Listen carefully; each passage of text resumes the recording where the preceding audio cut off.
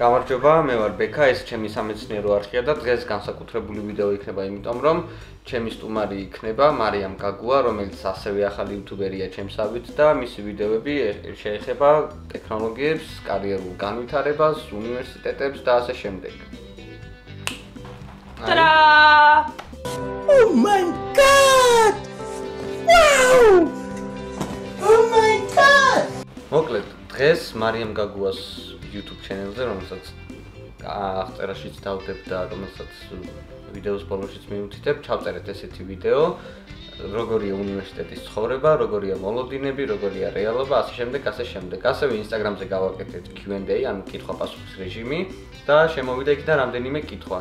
ამიტომ გადავწყვიტეთ ეს ვიდეო ჩემს channel-ზე ჩაგვეწერა და დღეს ამ კითხვებზე გავცემთ პასუხს და შევეცდებით უფრო მეტი ინფორმაცია მოგაწოდოთ იმის შესახებ, თუ სად ვისწავლოთ, როგორ ვისწავლოთ, ასე შემდეგ, ასე შემდეგ. დავიწყოთ.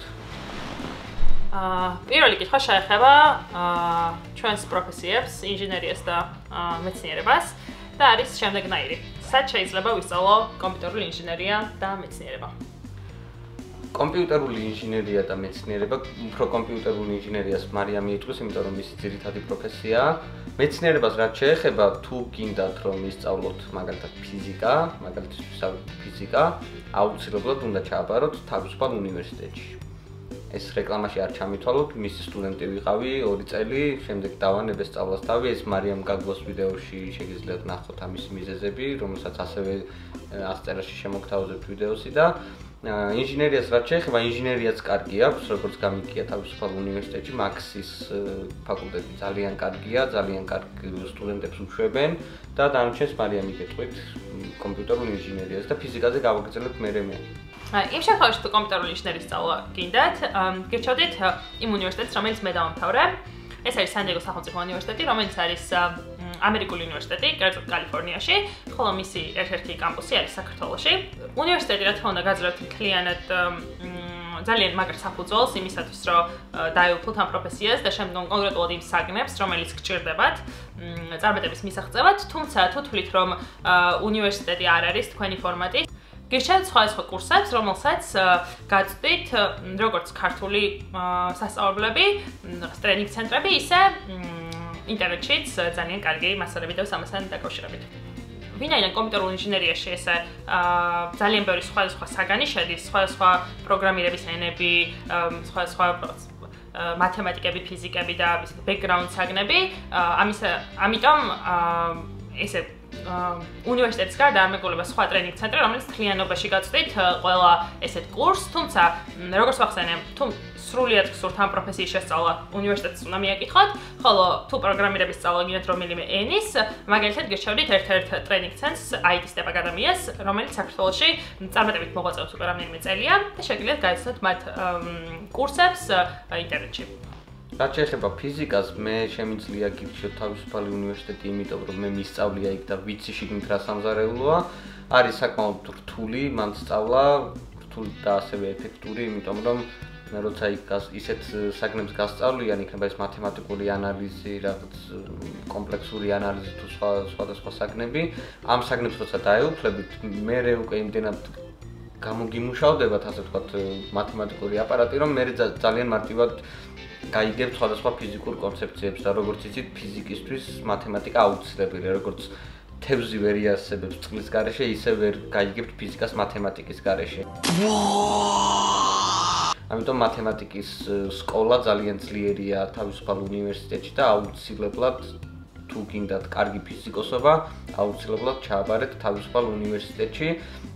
გარდა ამისა, თავისუფალ უნივერსიტეტ დამთავრებული სტუდენტები მიდიან ამერიკაში, მიდიან ევროპაში და საერთაშორისო ტურნირებზე ერთ-ერთი მაღალი შედეგებით გამოდიან ხოლმე. ამიტომ 100%-ით გირჩევთ მან ჩაბარებას. მეორე კითხვა შემდეგნაირი. როგორ ავირჩიოთ პროფესია და რას მივაქციოთ ყურადღება? რას ფიქრობ? ჩემი აზრით პროფესია უნდა ავირჩიოთ იმის მიხედვით, თუ რა გვიყვარს ყველაზე მეტად. იქნება ეს მეცნიერობა, ასტრონავტობა, პროგრამისტობა, არ ვიცი, შეიძლება შენებლობაც, კონსტრუქტორობაც, ინსტრუქტორობაც, მასწავლებლობა მაგალითად, რა პროფესიაც გიყვართ, იმ პროფესიას თუ მიყვებით ბოლომდე და გულით გააკეთებთ, ეს ცოტა ბანალ ბანალური რაღაც უნდა ვთქვა, მაგრამ რო დაუკვირდეთ სწორია რა, როცა აკეთებ იმას, რაც გიყვარს, შენ არასდროს არ მუშაობ რა, ეხლა ცოტა რაღაც ძალიან ისეთი გამომივიდა. ოკეი. მაგრამ მართალია. მართლა ეგრეა და მეც ვფიქრობ, ჩემ მე ჩემს პროფესიას პროფესიას რაც შეეხება, ასე დიპლომი არ მაქვს რამე პროფესიის, მაგრამ ჩემი პროფესია არის მეცნიერების პოპულარიზატორობა და ძალიან მიყვარს ეს სფერო კომუნიკაცია მეცნიერების სკოლაშიც ვასწავლი, ნიუტონის სკოლაში ბავშვებს ვასწავლი ურთულეს რაღაცებს მარტივ ენაზე და ეს ერთგვარი ჩელენჯია, ერთგვარი გამოწვევაა, როგორ უნდა აუხსნა მეოთხე კლასელს მაგალითად დიდი აფეთქების კონცეფცია, არაფრის კონცეფცია, შავი ხვრელის კონცეფცია და ასე შემდეგ. ეს საქმე ძალიან მიყვარს, ამიტომ ვაკეთებ ამ YouTube არხსაც და სამსახურებით სულ ესეთი მქონდა, რაც მეცნიერების პოპულარიზაციას ეხებოდა. შეიძლება ვქვეტყვი მარია. აა მე ვფიქრობ, რომ პროფესიის არჩევის დროს უნდა გაითვალისწინოთ ორი ფაქტორი. ერთი ვეთახმები ბექას, რა რისი კეთება მოგწონთ, რა გაინტერესებთ ყველაზე მეტად და მეორე რა არის იმ პერიოდში ყველაზე მოთხოვნადი. აა მაგალითისთვის ვიტყვი, მე კი მაქვს კომპიუტერული ინჟინერია დამთავრებული, მაგრამ ეხლა ამჯერად ვმუშაობ აპლიკაციების დეველოპმენტზე და არა, ოღონდ პროგრამულ ნაწილზე. უფრო შინაარსობრივ და გუნდთან ვმუშაობ იმისათვის, რომ დაიდოს ძალიან მაღალი ხარისხის მობილური აპლიკაცია. ეხლა ჩემი ეხლანდელი სამსახური პირობე კავშირში არ არის კომპიუტერულ ინჟინერიასთან, თუმცა 4 წელი კომპიუტერული ინჟინერიის სწავლამ ძალიან კარგი საფუძველი მომცა იმისათვის, რომ დღეს ეს საქმე კარგად მეკეთებინა. თავიდან რო ავარებდი, რა თქმა უნდა, ესე პირდაპირ კომპიუტერული ინჟინერია კონკრეტულად არ მინდოდა, თუმცა ვიცოდი, რომ ეს იყო ძალიან ტრენდული და ძალიან მოთხოვნადი პროფესია და ტექნოლოგიების, იმიტომ რომ ტექნოლოგიები ძალიან მომწონდა, ვიცოდი, რომ ესეც სიღრმისეული შესწავლა ტექნოლოგიების დამეხმარება და შემდგომ უკვე რაც არ უნდა ამერჩია, კარგად გამეკვალა ჩემი გზა და მართალის აღმოჩნდი, იმიტომ რომ დღეს მე რა წარმატებებიც მაქვს, თუ შემინა წარმატებები დავარქვა, რა თქმა უნდა, იმიტომ მაქვს, რომ მე ესე ვფიქრობ ყოველ შემთხვევაში, რომ მე ძალიან სიღრმისეულად მესმოდა ის თემა, რაშიც შევედი, ანუ ეს ტექნოლოგიები. ხო, ამიტომაც გირჩევთ, რომ ეს ორი ფაქტორი გაითვალისწინოთ. გადავიდეთ მესამე კითხვაზე. გირჩიეთ YouTube ჩანელები კომპიუტერულ ინჟინერიაზე და მეცნიერებაზე. რას ფიქრობ? ჩემი საყვარელი სამეცნიერო არხი ეს ცოტა ისეთია, ვიწრო სპეციალობას ეხება, რადგან საიმანდანია ესეთი ადამიანი, რომელსაც დავლინკავ კომენტარებში ბოდიში. და ეს ადამიანი დაძდებს ბრწყელი დედამიწის თეორიის მიმდევრებს და იმათ ჩატარებულ ეპიზოდებულ ექსპერიმენტებს ანადგურებს, ანუ აცამტვერებს და დასცინის ძალიან ისე ხარისხიანად. გარდა ამისა, ისე თუ ეს სფერო მაინც-მაინც არ გაინტერესებთ და არ გინდათ 20 ვიდეო ნახოთ ბრწყელი დედამიწის ბრწყელი დედამიწის თეორიის მიმდევრებზე, გამოიწერეთ კურც გეზაქტი, ცოტა რთული დასამახსოვრებელია, მაგრამ ამასაც დავლინკავ აღწერაში და საკმაოდ მარტივ ენაზე და კარგი გრაფიკული ანიმაციებით აღწერენ ურთულეს პროცესებს, მაგალითად ებოლას ებოლას ეპიდემია რო იყო 2013-2014 წლებში, ებოლას ვირუსის მოქმედება ადამიანის იმუნიტეტზე ისე კარგად ახსნეს, რომ აი არ ერთ-ერთი საუკეთესო ახსნა იყო რაც კი ოდესმე წამიკითხავს, ფათაშორის კორონავირუსიც ძალიან კარგი ახსნა დადეს, საკმაოდ კარგი გრაფიკული კონტენტით და ამასაც 100%-ით გირჩევთ. პლუს ამას გამოიწერეთ National Geographic, Discovery Science და ასე შემდეგ, ასე შემდეგ. მე დავამატებ ინჟინერიის მიმართულებით, ჩემი ფავორიტი YouTube არხი ყოველთვის ყოველ შემოთხი წლის განმავლობაში იყო The New Boston ბექა დალინკავს ამასაც description-ში. და კონკრეტულად თუ გსურთ ან კომპიუტერული ინჟინერიის მიმართულებით წასვლა პირველ რიგში გეშალით რომ დაგეწყოთ პროგრამირების ენით C-თ შეიძლება ზამბრი შემეწინააღმდეგოს ამასთან დაკავშირებით თუმცა მე ჩემი გამოცდილება ან ჩემი გამოცდილებიდან გამომდინარე უნივერსიტეტში სწორედ პირველი პროგრამირების ენა რომელიც ვისწავლეთ ეს იყო C და არა C# ან C++-ი ეს შემდგომ უკვე მეორე მესამე კურსზე დავამატეთ. C language-ის სწავლა. თქვენ საშუალებას მოგცემთ უკვე შემდგომ უკვე რა ენაც არ უნდა ისწავლოთ. თუნდაც ინჟინერიის მიმართულებით არ წახვიდეთ და წახვიდეთ მაგალითად უფრო computer science science-ის ან თუნდაც web development-ის მიმართულებით. ძალიან კარგ საფუძველს გაძლევთ და ძალიან მარტივი ენაა, ძალიან ადვილად იკითხება და თუ სიტყვაზე მოგინდებათ რომ hardware device-ებზე გააკეთოთ პროგრამირება, საკმაოდ ესა მარტივად და კარგად იწერება მციზე. და ამასაც სიმეც გავიარე უნივერსიტეტში ინჟინერიაზე რო ვსწავლობდი. და საკმაოდ მარტივია მინდა გითხრათ. კი, კი, კი.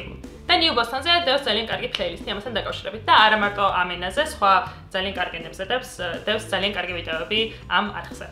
ასევე ტექნოლოგიებზე თუ გაინტერესებს ტექნოლოგიებში გულისხმობ, აი მაგალითად ახალი smartphone-ები, ახალი კამერები, ასე შემდეგ, ასე შემდეგ, თუ გაინტერესებს ბოლო სიახლეები და კარგი რივიუები, ან კარგი განხილვები, აუცილებლად გამოიწერეთ MKBHD, მარკეს ბრაუნული 26 წლის ძალიან მაგარი რივიუერია, იუთუბერი, ერთ-ერთი ყველაზე ტოპ ტოპ კლასის იუთუბერია, ასევე ჯარეთ პოლინი, რომელიც კამერების რივიუს აკეთებს, თუ გაინტერესებს ფოტოგრაფია, ვიდეოგრაფია, ასე შემდეგ, ჯარეთ პოლინის გაყევით და კიდევ არის რამდენიმე, რომელსაც დავლინკავ აღწერებში და გადადით ყველა გამოიწერეთ, საკმაოდ ინფორმატიული არხებია ყველა. გადავიდეთ შემდეგ კითხვაზე.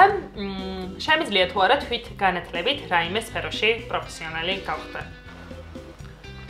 ჩემი აზრით შეგიძლიათ, იმიტომ რომ ესე რო ვფიქრობდი, არ გამოვიდოდი უნივერსიტეტიდან და არ დამიმშვიდებდი თავს ამ კითხვაზე დადებითი პასუხი რომ არ მქონდეს. კი, შეგიძლიათ, ნამდვილად გამოგივათ თუ მოინდომებთ, იმიტომ რომ ინტერნეტში არის იმდენი რესურსი და იმდენი რაღაცა არის.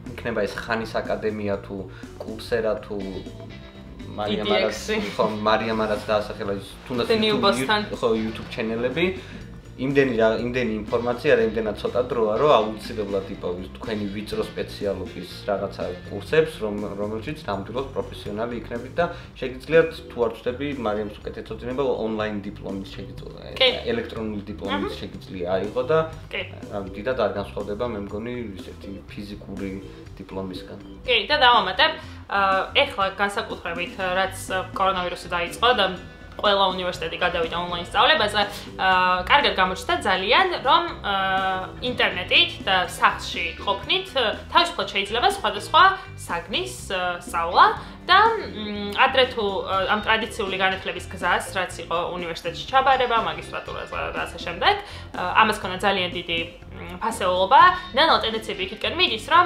ყველაფერი გახდება ონლაინ და უფრო მეტად ხელმისაწვდომი. დღეს არსებობს ძალიან ბევრი კურსი, კურსერაზე, EDX-ზე და სხვა ესეთ ვებსაიტებზე, სადაც შეგიძლიათ, რომ როდესაც კურსს გაიგეთ, აიღოთ დიპლომი და შემდგომ უკვე დიპლომი, მაგრამ სერტიფიკატი და შემდგომ იგი გადააშიაროთ თქვენს LinkedIn გვერდზე, მილინკოთ თქვენს CV-ზე, რეზიუმეზე და დღეს თქობით უკვე დამსაქმებლებიც დიდად აღარ აქცევენ ყურადღებას, რამდენად გაქვთ თქვენ უნივერსიტეტის დიპლომი და თორსები ელონ მასკმა თქვა, რომ აღარ მე არ არ ვითხოვო ბაკალავრის დიპლომს ჩემს კომპანიაში დასაქმებლად, მაინტერესებს სინამდვილეში რა იცისო ამ ადამიანმა. მე როგორც სიგონ მასკის ჟამთა აღმწერელი ვადასტურებ, რომ ეს ინფორმაცია ნამდვილად სწორია და სიგონ მასკი არ არ ეძებს დიპლომიან ახალგაზრდებს, თავარია თავის საქმეში პროფესიონალები იყვნენ. აა შემდეგ კითხვა ეხება ძალიან საჭირო თემას. აა როგორ გავარჩიოთ აა დეზინფორმაცია? აა ეს ძალიან დიდი ეს ცალკე მიმდინარეობა, ამას სავარაუდოდ ცალკე ვიდეო დაჭირდება და პირობას ვდებ რომ ჩავწერ მარიამთან ერთად თუ მარტო აუცილებლად ჩავწერ დეზინფორმაციაზე საკმაოდ ვრცელ ვიდეოს. ასევე 5G-ზეც მაქვს მსგავსი ვიდეო, სადაც დეზინფორმაციაზე ოდნავ მაქვს რამდენიმე სიტყვა ნახსენები, შეგიძლიათ ნახოთ. დეზინფორმაცია როგორ უნდა გავარჩიოთ და არსებობს ყველაზე მარტივი გზა არის ის, რომ ვიპოვოთ ისეთი საიტები, რომლებიც არის სანდო. მაგალითად, თუ ვეძებთ მეცნიერებას, თუნდაც კორონავირუსზე თუ ვეძებთ რამე ინფორმაციას, ჩვენ არ უნდა ვენდოთ Russia Russia Today-ს ნებისმიერ არც ერთ სტატიას უბრალოდ, ხო? უნდა ვენდოთ მაგალითად Nature-ის სტატიას, Science-ის, Science Magazine-ის სტატიას და ასე შემდეგ, ასე შემდეგ. ბევრი ასეთი რეპუტაციული, მაღალი რეპუტაციის მქონე ჟურნალი და გამოცემა არსებობს, რომლებსაც შეგიძლიათ რომ თვალდახუტული ენდოთ. თუ მაინც და მაინც ეკვიკეპარებათ ამაში, რომ თქვათ New York Times-ი მატყუებს, შეგიძლიათ იპოვოთ სტატიის ორიგინალი, ანუ რომელი ნაშრომიდანაც არის ეს გადმოთარგმნილი ადამიანურ ენაზე და შემდეგ ის გამო ანუ ეს ნაშრომი სადაც არის გამოქვეყნებული, ის იმ ჟურნალის რეპუტაცია დააყენოთ კითხვის ქვეშ. რამდენი აქვს იმპაქტ ფაქტორი, რამდენი აქვს ციტირების ინდექსი და ასე შემდეგ. ამაზე კიდევ ერთხელ გეუბნებით, ძალიან ბევრი და ძალიან ვრცელი ვიდეოს ჩაწერა დამჭირდება და აუცილებლად გავაკეთებ მაგას მადლობა ამ კითხვის ავტორს. ვეთახმები ბექას, მეც იგივე ხერხს ხმარო, ყოველთვის ვაკვირდები რა წყაროდან მოდის ინფორმაცია და თუ ეს წყარო არის მაღალი რეპუტაციის მქონე, მაშინ ვენდობი ხოლმე მის მიერ მოწოდებულ ინფორმაციას. მოკლედ დღეისათვის სულ ეს იყო, მადლობა ვინც უყურეთ ბოლომდე ამ ვიდეოს. გამოიწერეთ ეს არხი, გამოიწერეთ ასევე მარიამის არხი, რომელიც რომელსაც ძალიან კარგი და საინტერესო და გამოსადეგი რაც მთავარი გამოსადეგი ვიდეოები უდევს და ნახეთ ბოლო ვიდეო, რომელიც ამ ვიდეოს ჩაწერამდე ჩავწერეთ მარიამის არხზე კომენტარებში აღწერაში დავლინკავ და დროებით მომავალ შეხვედრამდე. დიდი მადლობა ყურადღებისთვის, ბექა მადლობა მოწვევისთვის და სამავალ ჩემთავაზად კიდევ უფრო საინტერესო ვიდეოებს, ამიტომაც და subscribe-ით ორივე ერთხელ და დაგველოდეთ. კარგად. ერთად გავაკეთოთ ის.